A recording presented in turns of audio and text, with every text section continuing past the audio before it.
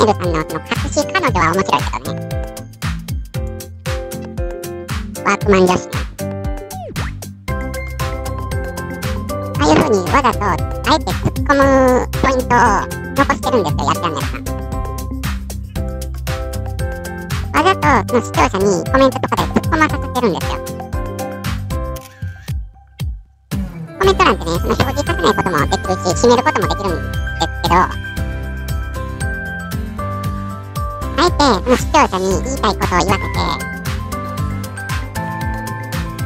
視聴回数を取ってるっていうのがやったんですよね。賢いいよね。うん。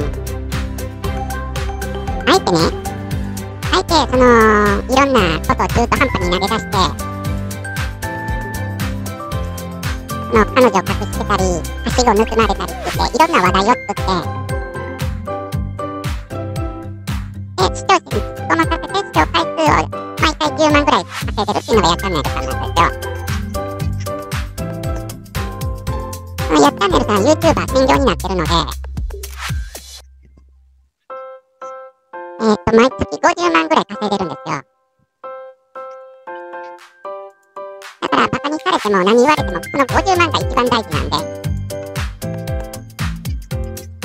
毎月50万以上稼ぐためにいろいろ工夫してるっていうのがやったんねるさんですよね。まあ、いいか悪いかわかりませんけどね。うーん、まあ、YouTube もね、どうかなと思いましたね。まあ、普通に仕事してても手取り30万ぐらいがマックスですからね。まあ、それ考えたら50万円以上稼げる YouTube は、やっチャンネルさんにとって美味しいところよね。うん、だから、ネタだらけになってもずっと続けてるって感じですね。やっぱり一度美味しい蜜を吸っちゃ吸っちゃったらそこから離れられない。うん。まあ悪いこともある、マイナス面も多いと思うけどね。うん。YouTube ってほとんどやらずですからね。